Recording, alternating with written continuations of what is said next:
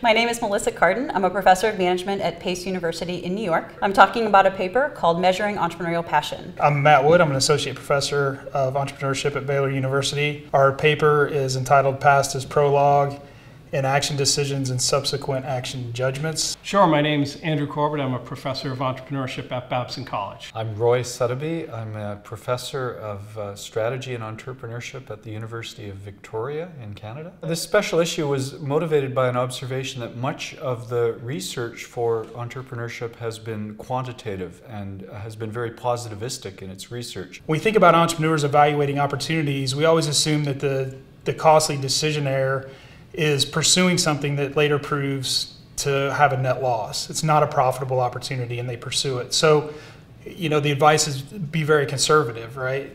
Well, that assumes that there's no cost to inaction, that if you just decide not to act, that that's an okay alternative.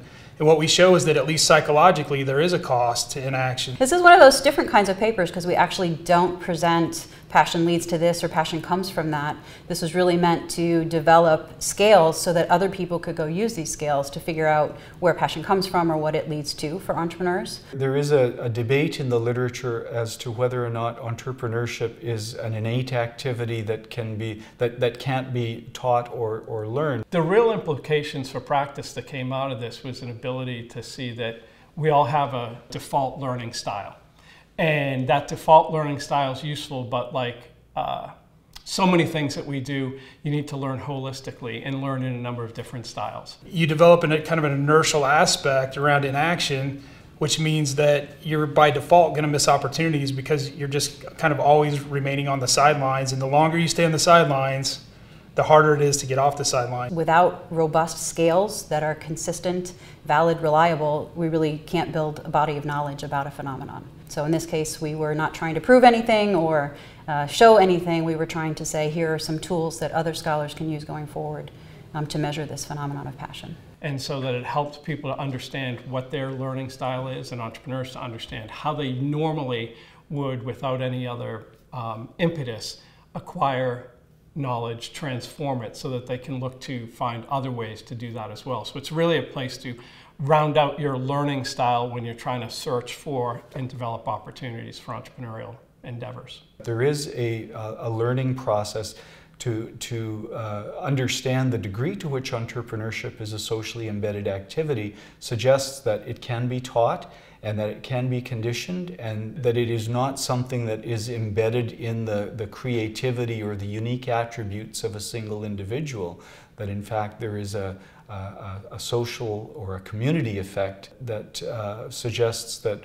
uh, we can create the social conditions for entrepreneurship at the family level, at the community level, and, and probably at the, at the social or the broader societal level.